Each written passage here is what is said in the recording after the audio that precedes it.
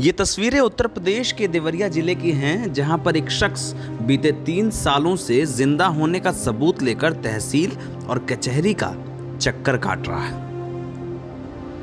यूँ तो ये कहानी फ़िल्मों में ही सुनाई देती है, लेकिन ऐसी एक हकीकत रुद्रपुर तहसील के डाला गाँव के रहने वाले राम अवध के साथ भी है। बीते तीन सालों से राम अवध ये साबित करने की कोशिश कर रहे हैं कि वो ज़िंदा हैं। हैरानी इस बात की है कि राम अवध के ज़िंदा होने के बावजूद उनके कुछ रिश्तेदारों ने सरकारी अफसरों को घूस देकर कागजों में उन्हें मुर्दा घोषित करा दिया है। राम अवध की माने तो आठ साल पहले उनके भतीजों ने राजस्व कर्मियों की मिली भगत से सरकारी अभिलेखों में उन्हें मुर्दा घोषित कर दिया और उनके नाम की ज़मीन अपने नाम करा ली।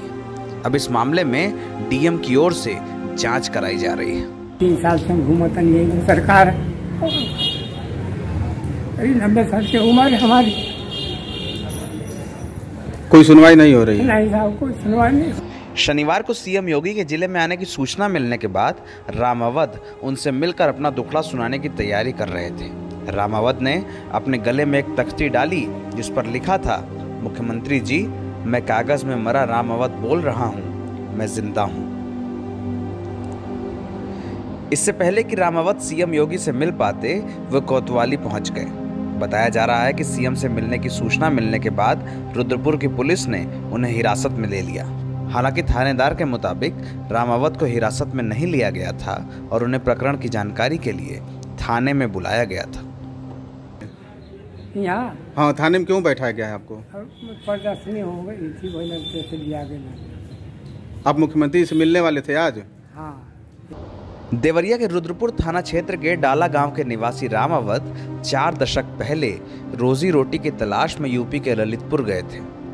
ललितपुर जाने के बाद राम अवध ने सैदपुर गाँव में ज़मीन खरीदकर अपना घर बना लिया था और परिवार के साथ वहीं रहने लगे थे। उनकी पुश्तैनी ज़मीन अब भी गाँव में है, जिसकी देखरेख के लिए वो बीच बीच में अपने गाँव आते रहते थे।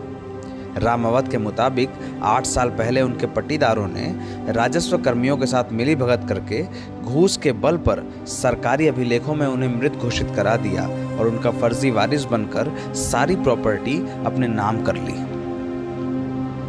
तीन साल पहले रामावत जब अपनी खतौनी लेने के लिए तहसील गए तो उन्हें पता चला कि आठ वर्ष पहले उनकी मौत हो गई है। ज़िंदा राम अवध ये सुनकर भौचक्के रह गए कि सरकारी दस्तावेजों में उन्हें मृत घोषित कर दिया गया है। राम अवध अब अपने ज़िंदा होने का सबूत जुटाकर तहसील और कचहरी के चक्कर काट रहे हैं। तहसील न्यायालय में उन्होंने अपने आप को ज़िंदा साबित करने का मुकदमा भी दाखिल किया है। लेकिन विडंबना यह है कि तहसील न्यायालय अब भी इस बात को साबित नहीं कर पाया है कि राम अवध ज़िंदा हैं या मुर्दा। हालाँकि राम अवध इस उम्मीद में हैं कि सरकारी दस्तावेजों में एक दिन उन्हें न्याय मिलेगा और इसीलिए वो शनिवार को सीएम योगी से मिलना चाहते थे। देवरिया ज़िले के रुद्रपुर तहसील क्षेत्र के डाला गाँव निवासी 80 वर्षीय रामवत पिछले तीन सालों से अपने ज़िंदा होने का सबूत लेकर तहसील व कचहरी का चक्कर काट रहे हैं। मगर विडम्बना यह है कि तीन साल बाद भी तहसील न्यायालय अभी यह साबित नहीं कर पाया है कि रामोद ज़िंदा है या मुर्दा। रामोद का आरोप है कि आठ साल पहले उनके सगे भतीजों ने राजस्व कर्मियों के साथ मिलकर सरकारी अभिलेखों में उन्हें मृत घोषित करा दिया और उनकी ज़मीन का बैनामा अपने नाम करा दिया।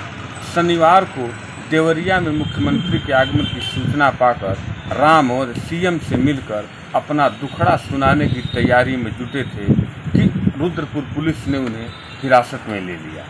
हालाँकि इस बाबत रुद्रपुर के कोतवाल ब्रजेश मिश्र ने बताया कि रामोद को हिरासत में नहीं लिया गया है, बल्कि उनके प्रकरण का निस्तारण करने के लिए उन्हें थाने बुलाया गया है। देवरिया से एनवीटी ऑनलाइन के लिए, कौशल किशोर त्रिपाठी।